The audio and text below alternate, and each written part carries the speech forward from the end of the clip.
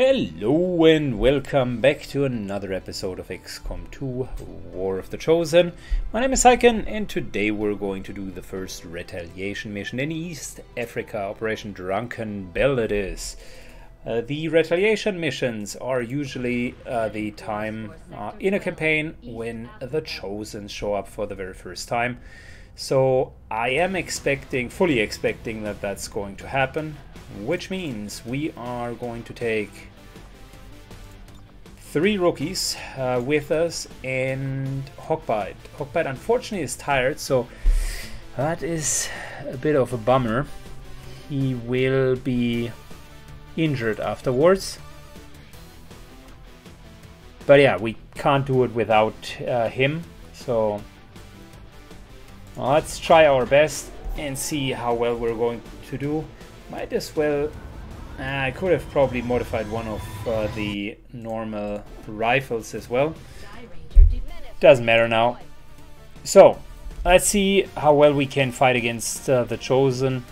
I expect it's going to be the Assassin, and that's a pretty hard encounter, to be honest. And look at that, we just landed. So, a couple of things for the first retaliation mission. Uh, number one, it is not as bad to lose this mission as it might seem on paper. The only thing that really happens is you're going to lose a couple of resources. Yes, that sucks, but it's not the end of the world to be honest. So if things are going to be too tough on us, we're simply going to pull back and call it a day. This starting position is not too bad, specifically since um, on almost any retaliation mission we are yeah, basically forced to go in without concealment, which is a major disadvantage. I'll keep the group together.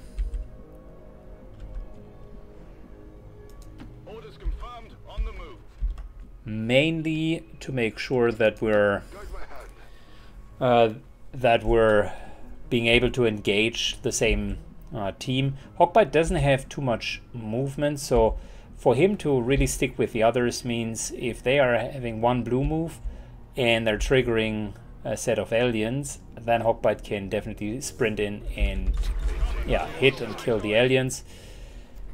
The other topic is if we're really fighting against um, a chosen now, then that requires us to cluster up at least a tiny bit. You wouldn't want to cluster up too much,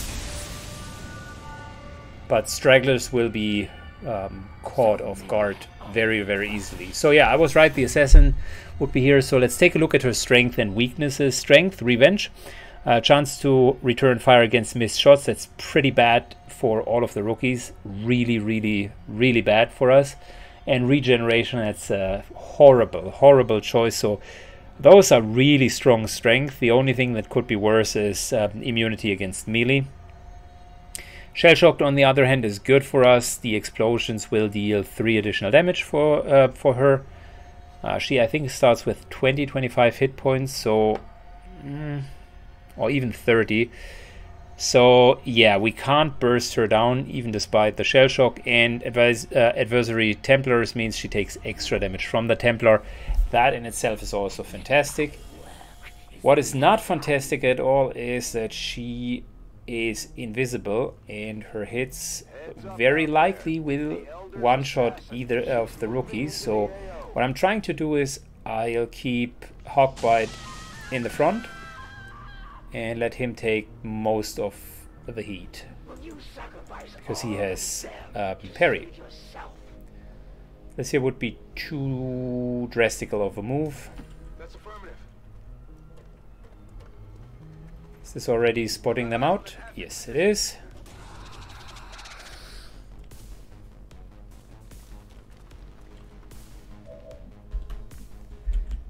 Yeah, unfortunately Hawkbite is cannot get in far enough. That's a problem.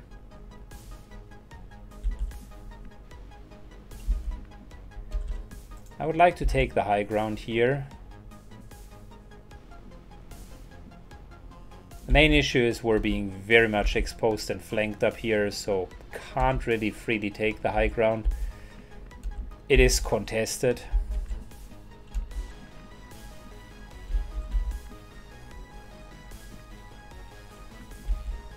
And with this door not being open, we also cannot really flank him. This here would be a perfect position to actually flank him.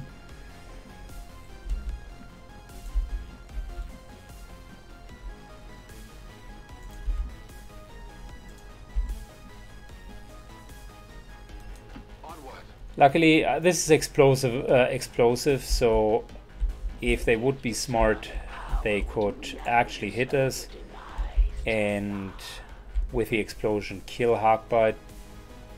But luckily the AI doesn't know about that. So that's all good.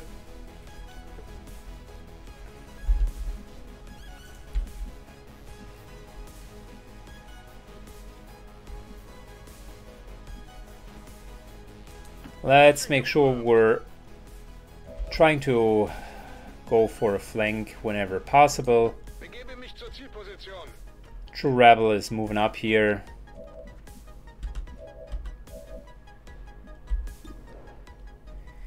We can at least overwatch. I'm not going to shoot into full cover, specifically not with these horrible, horrible odds.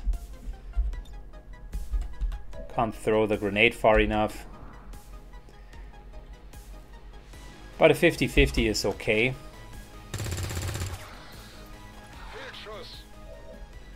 Didn't work out, so we're moving back because we don't want to be flanked. And like I said, we're just going to Overwatch for now. They do have plenty of targets around here.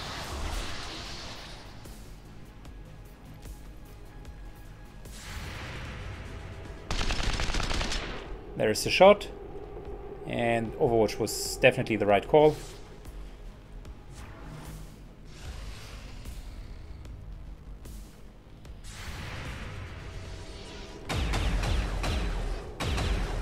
He is overwatching, and did he actually kill? No, no way. so, um, one of the civilians moved, but it was a faceless one. He shot it and dealt enough damage so that it is now triggered. That is a hilarious interaction. There will be no escape. Alright, so we're we're definitely taking a, a bit more serious approach. Let's get rid of uh, the cover here.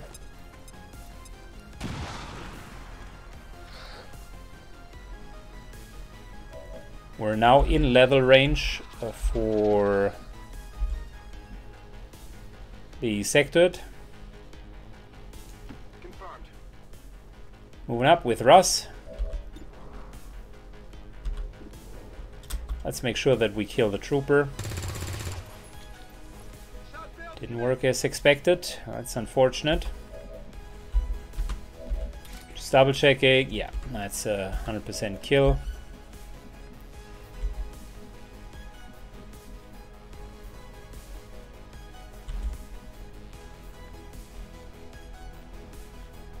Unfortunately, we can't really move up far enough and shoot.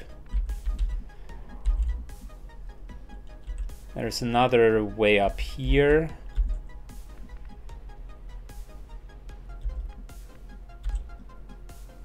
So we got to deal with the situation without the bonus for high ground. And I'm a bit concerned because I know that the Chosen will soon start to move in.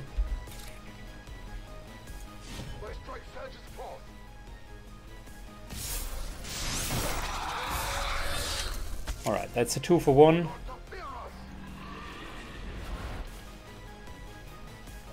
And we're going to parry.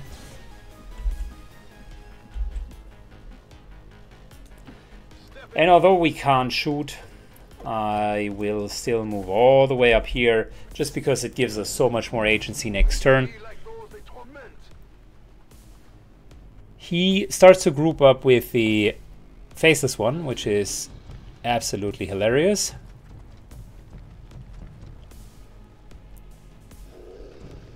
Places one in return. It's just moving in. We gotta deal with it next turn. That's a given. Chosen moves in. Luckily we have parry ready and uh, can counter her ambush.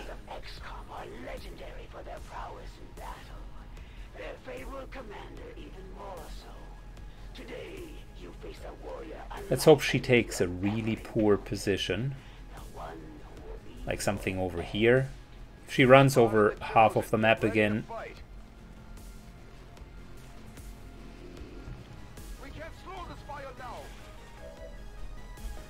Not the worst, not the best position either.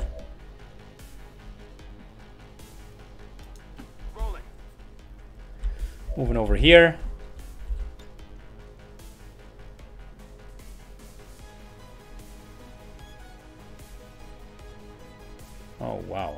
Can we not just roll it down?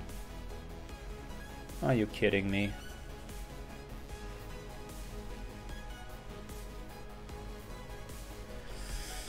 Apparently we cannot.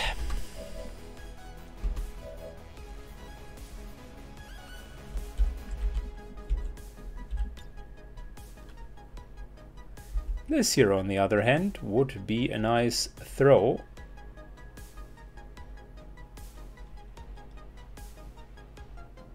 And it should at least open her up. Question is, Should we start with that or not? Gotta deal with the faceless one, that's a given. True Rebel starts to soften it up. Very nice damage, good job man.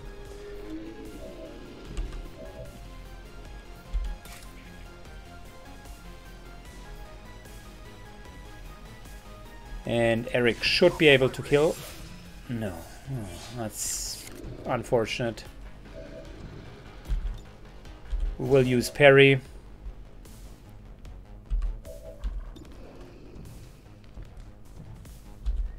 We will need an extra action just to get it down. That is unfortunate. But in the meantime, we can at least make sure that she's not being able to hide again.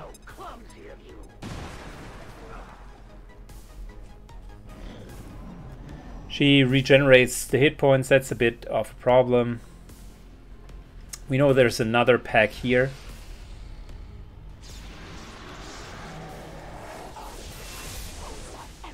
Alright, she's summoned yet another soldier. I didn't see her having the ability of Shogun. Oh wow, Harbor Wave. She moves all the way up here for Harbor Wave.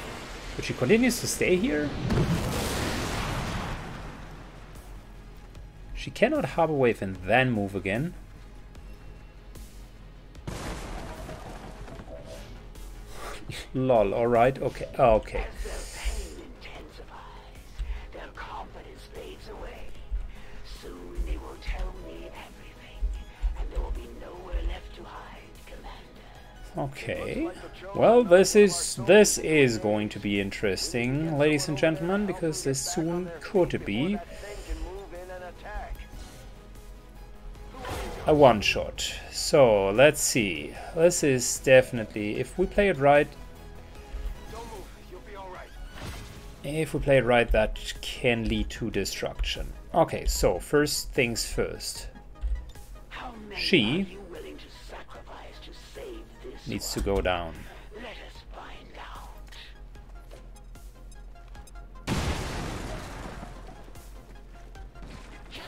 You already know she's shell-shocked, so fantastic. This here should not destroy the rooftop. Famous last words? It doesn't. It did not. Oh, hell yeah. There we go.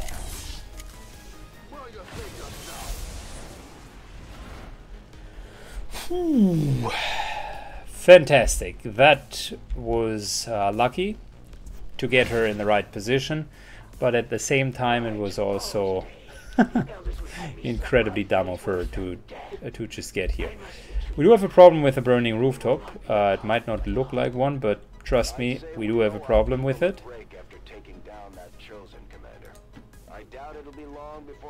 True Rebel just gets the hell out of there. And we're doing another parry move.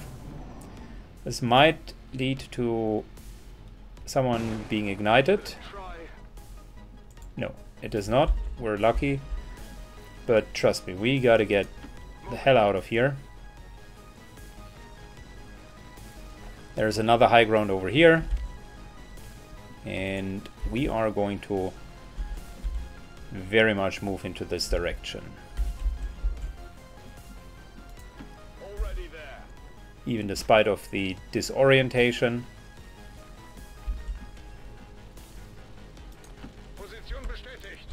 True Rebel moves in as well. And let's just move over here. Overwatch. And Russ can reload. We don't need another Overwatch. Not for now. There's another pack over here. And that should be the last one.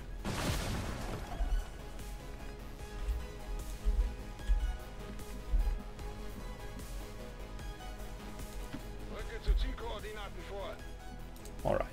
Slow movement. Deploying their so-called priests into combat. Their implants provide significant enhancements to whatever latent psionic energy they may have once possessed. Okay. Okay, we can definitely kill one of the troopers. That's fantastic.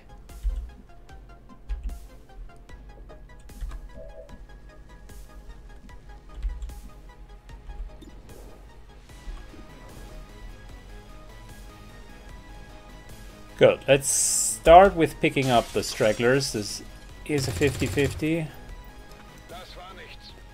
Fortunately, it didn't work.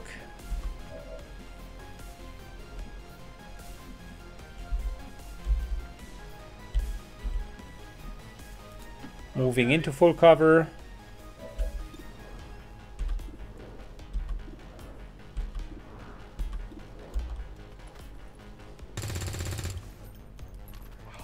Another shot, unfortunately another miss. And let's take another 50-50. Okay, that was at least a kill. Wonderful. Good. We're continuing with Hawkbite.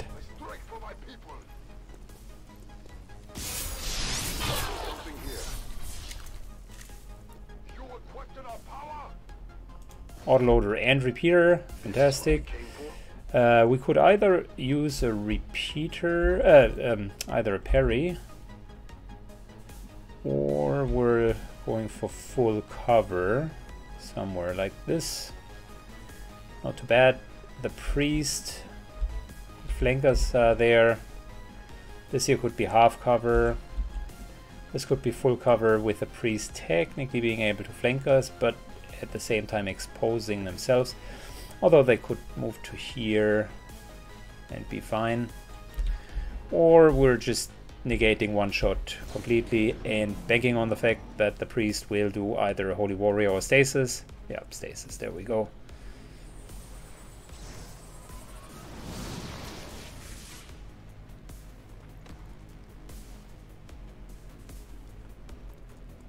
Alright, and that will be a parry.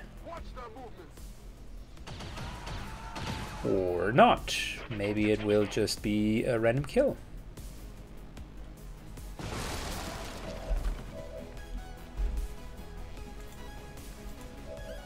Okay, obvious uh, move here is to flank nicely from high ground.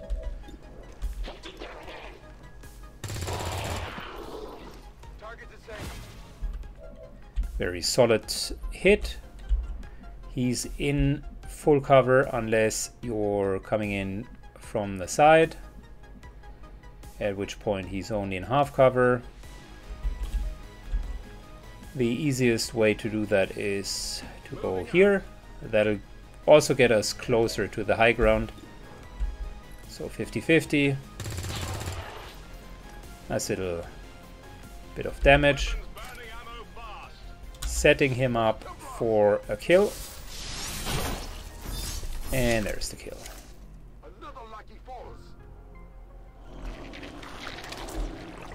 And that means no more enemies on the map. We only have to deal with one faceless one, which we should have no problem defeating.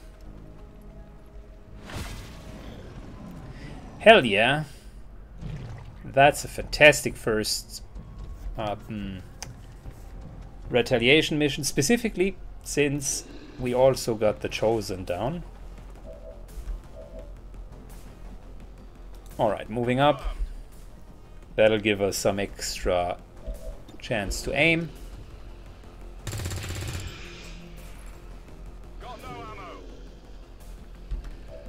Alright, wait a second. Is that level? No, it's not. We want to give all of the kills uh, to Hawkbite if possible. That way he can get a promotion.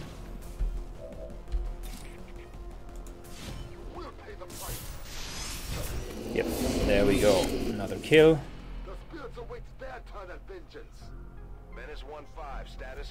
And I think that was pretty convincing. I, if I'm not mistaken, I only lost two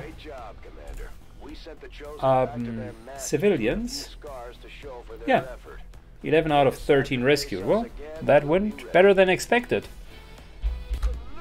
Alright, here we go. We landed. Let's take a look. Can we promote Hawkbite? Yes, we can. That is awesome. And he has a lot of AP. That is even better. Okay, cool. Uh, so, extra focus, fantastic. Amplify, fantastic. Let's first of all get the extra focus. That's good. I almost think that we're going for Amplify as well, just because it is a very good ability. Yeah. I'll leave the remaining points as is for now. The lieutenant rank will have a couple additional goodies for us. Yeah, XQ6, uh, really well done. Russ, really well done. And True Rebel, also really well done. We got 11 rescued civilians. Repeater is great. Uh, autoloader isn't bad either. And look at that, 33 supplies. That'll go a long way because we need a lot of supplies going forward. Cool. Very good. That was an absolutely solid mission.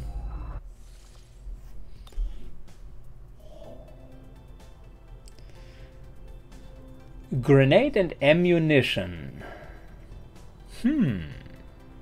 I think we're going to take that over supplies because ammunition is very valuable in the early game.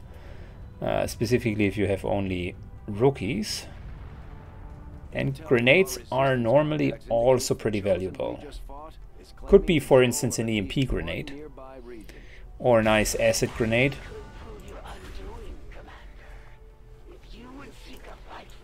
Supply drop in two. You know what? Let's do the supply. I changed my mind. Let's do the supplies first because we can actually work with the supplies and then we're going to get the grenade.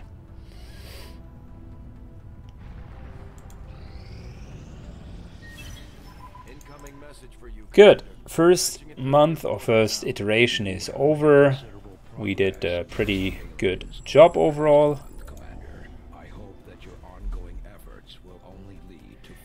Chosen doubles the effort and hunt down the commander, seeking to capture XCOM soldier at every opportunity. None of those two is bad. Commander, we have intel suggesting the aliens are working on developments that Hmm, so two additional power on the Avenger or soldiers are more likely to bleed out. Well, we're taking the Avenger power that's given because it will allow us to maybe go for one more uh, for one more building.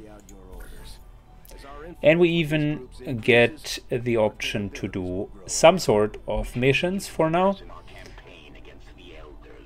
I love the faction hero, but we can't uh, use him to send our own soldiers out to work Increased combat intelligence is fantastic. Can we put Hawkbite in here? No, not yet. Well, that would be just awesome. It's exactly what he needs. Very, very good. We'll need to send one of our vets to lead the effort. Hmm.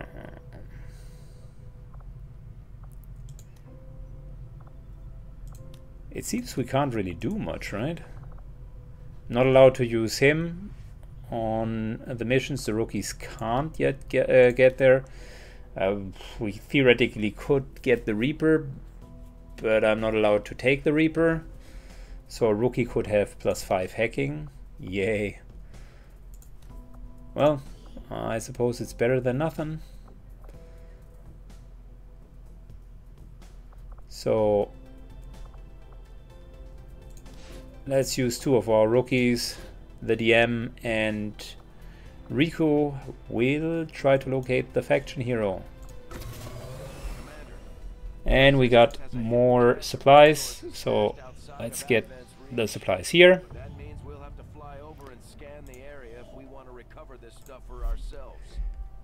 Just double checking to see if everything is working well. Resistance ring soon is going to be built. Yeah, we need another engineer, but there's only so much I can do. Commander, you should establish contact with the local resistance network as soon as possible. Oh yeah, that's a smart idea. Resistance communication is soon going to happen. There we go.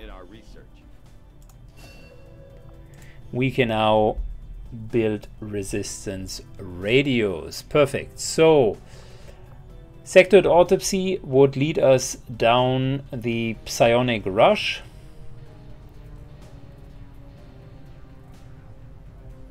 And we might start that with only four days. Why not? Psionics is the next one. We're not having enough Elerium, but maybe the game will realize that we will need Elerium. So it's not the worst to already start that and be ready to uh, to research afterwards.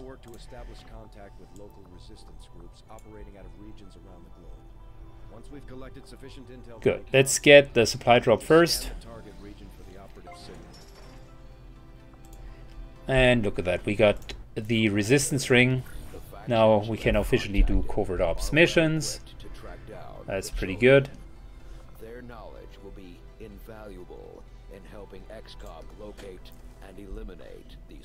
We got enough power to theoretically build something else. We're still going for the laboratory rush, like I mentioned. So that's okay. Could definitely use a second engineer. It's getting a bit cumbersome to go through it with only one. We got enough supplies. And before going for the grenade, although that is also good, I want to probably expand twice. So we're making contact. We're going to get Africa. That even allows us to get the continent bonus if we're playing our cards right.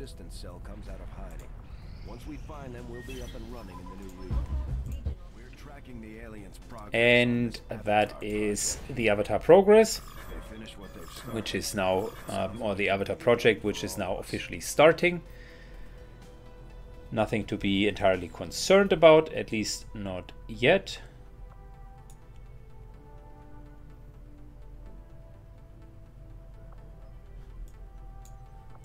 We will just continue.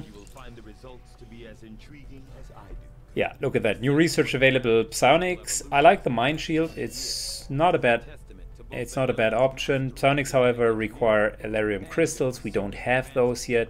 Plated armor um, require alloys. We don't have that either. We could go for magnetic weapons, which would be the natural next uh, step. Faceless ones aren't bad either. Experimental weapons would give us... Let's see... The pistol is only really good for a sniper because it's uh, uh, their sidearm, so Oh, that's not really useful. The axe isn't really useful because we don't have rangers. So it would really only be for the frost grenade, so it's not going to matter too much. I think we're going for magnetic weapons. It's a month, but it will be a good upgrade. And the only reason why I'm not taking plated armor is because I'm missing the alien alloys. But yeah, I would go magnetic weapons even before resistance ring and we can speed it up soon uh, once the laboratory is done. So that's good. In terms of building, once we got the debris out of the way, um, I would probably go for proving grounds next so that we at least can open up for one spark uh, if I'm not mistaken, we had an Elerium core or two already, so that would be that would be the next step.